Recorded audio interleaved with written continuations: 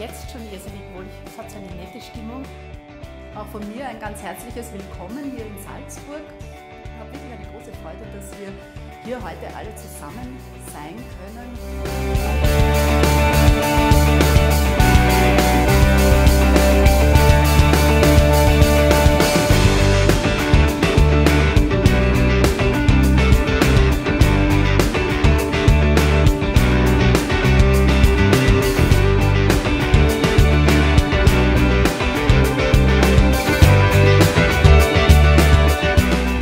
Die Veranstaltung als solche äh, war ganz, ganz prima. Ich habe schon gestern äh, nach der ersten Session gemerkt, dass hier ein ganz besonderer Spirit herrscht. Das, also für mich war es fühlbar.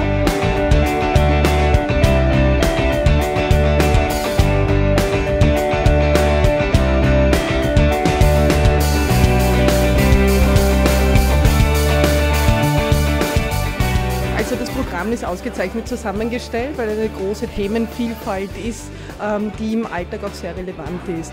Einmal etwas nur für die Frauen. Ich finde es eine, eine großartige Initiative.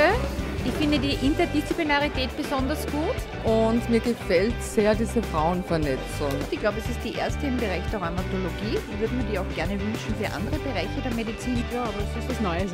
Ich würde es sehr begrüßen, wenn wir nächstes Jahr eine IFEM 2 auf die Beine stellen könnten.